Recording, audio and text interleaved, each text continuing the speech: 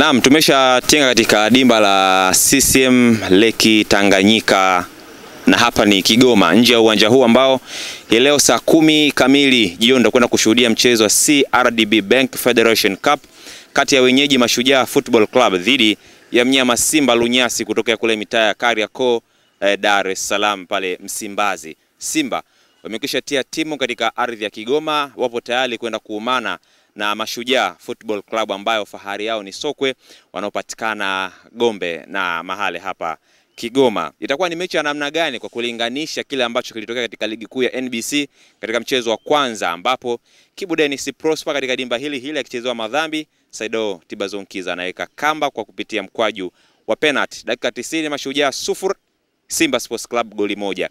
Hii leo Mashujaa pengine anakwenda kutupa karata yake nyingine huku akiamini na kukumbuka kile ambacho kilitokea katika mchezo wa kwanza wa ligi kuu ya NBC, lakini hii leo ni mchezo wa mtoano. Kipigo umetoka, itakuwa ni mechi ya namna gani? Jambo la kusubiri na kuona. Tumeshafika eh, tumeshafika hapa Ayoma Media ili kukosha kile ambacho kinaendelea katika ardhi ya Kigoma kuelekea mchezo huo. Ripoti na matukio yote muhimu kuelekea katika mchezo huo wa CRDB Federation Cup utaupata kupitia sisi. Naitwa Jadu, hii ni Ayoma Media. Endelea kutazama hali ilivyo nje ya dimba hili la CCM Leki Tanganyika.